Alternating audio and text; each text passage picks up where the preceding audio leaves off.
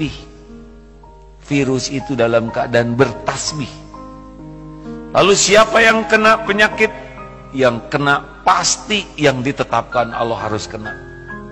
Tanpa izin Allah tidak ada mudarat. Siapa yang meninggal kena virus pasti yang sudah ditetapkan Allah harus meninggal pada waktu yang ditetapkan didatangkan malaikat pencabut nyawa atas perintah Allah lewatnya lewat sakit kena virus. Tanpa kena virus itu pun yang meninggal tiap waktu tetap terjadi.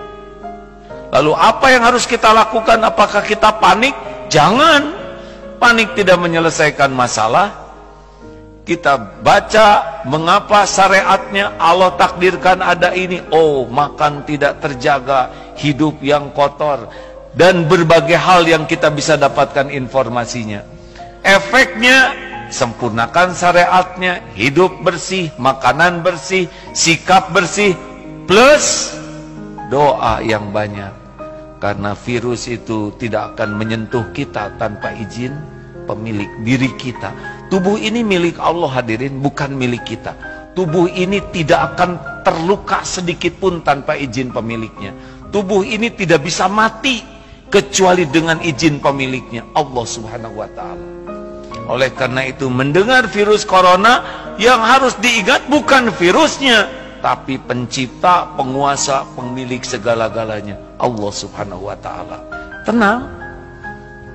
Kalau sangat sibuk dengan virus, sangat sibuk dengan Wuhan, sangat sibuk dengan masker, bukan dilarang pakai masker tapi tidak akan menghalangi apa yang Allah tetapkan untuk terjadi. Maka yang paling penting adalah zikrullahnya. Hadirin tanpa virus pun kita akan mati. Semua pasti mati. Mati husnul khotimah atau sebaliknya itu yang kita pikirkan. Waktu sudah tertulis. Oleh karena itulah bahaya terbesar dalam hidup kita ini adalah tidak tersambungnya hati, pikiran, sikap kita dengan Allah. Itulah yang membuat kita sulit untuk bersikap sabar. Jangan takut oleh masalah hadirin. Semua masalah sepenuhnya ada dalam genggaman Allah dan terjadi pun dengan izin Allah. Allah menciptakan masalah bagi kita supaya kita dekat dengannya.